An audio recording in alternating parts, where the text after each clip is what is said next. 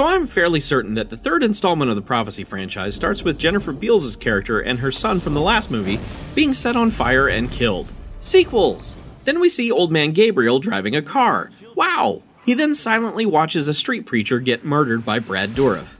Brad Dourif is in this! Hell yeah!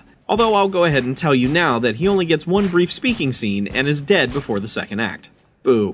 Coroner Guy is also back. He's the one who pieces together that the dead street preacher was Jennifer Beals' son.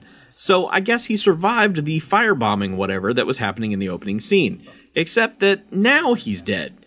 Except he's not, because he's a half angel. With Gabriel being a lowly human now, there's another big bad, played by Vincent Spano of, uh, and God Created Woman fame. Look, I watched Rebecca De Mornay be naked in that movie a lot when I was a teenager, so yeah, that's what I know the dude from.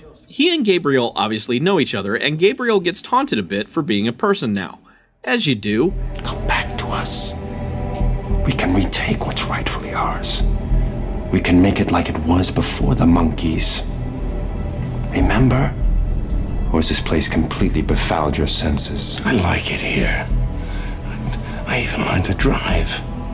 But the point is basically that if you thought Gabriel was bad, look out for this new guy. And also, this might lead to a face turn for Gabriel, new perspective and all. Coroner Guy is now in charge of doing all the research on our new characters because the leads of the first two films are dead, and he's all that's left. It really seems like he's being set up to either become the new lead of the franchise or to be the next one to get unceremoniously murdered, but instead we get neither? The movie just kinda wanders away from him. He does stick around long enough to give his research to Half Angel's girlfriend, and it's a bunch of stuff about the angel of genocide becoming a second god or the next god or something. It's hard to decipher all this angel claptrap, and not helping matters much is that our lead actress here is giving, well, a bad performance. Sorry? How am I supposed to take that, huh?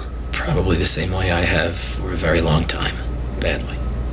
I just lost the only thing I cared about in this whole fucked up universe. You haven't seen Badly, sir. Not yet. Walken being on the other side of things in this one is interesting and probably what intrigued him enough to come back and do a third one of these, but it's also not what you want.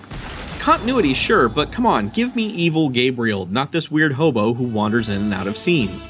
He's trying to have fun with what he's given, but he's barely a factor. An attempt has been made to make the various angel stuff seem a little cooler, although it does come across as, hey, we saw Big Trouble in Little China. The angels do start licking eyeballs, though, as a way to track people, so one step forward, two steps back. Then there's this stunt that makes me want to curl up into a ball. The movie does try to stoke the nostalgia fire for the franchise, which is silly since there's only been five years between the release of the first and third films. Half Angel Guy runs into Mary, the little girl from the first film, out in the desert. She's all grown up, and Gabriel asks for directions from the same waitress in the same diner as the first prophecy. So, there are some things here for fans of the franchise, if such people actually exist. Say, ma'am, I wonder if you could tell me how to get to Gila Flats. Then it kind of turns into Mortal Kombat at the end for a bit, and then we see Walken's farewell to the franchise, which just. What?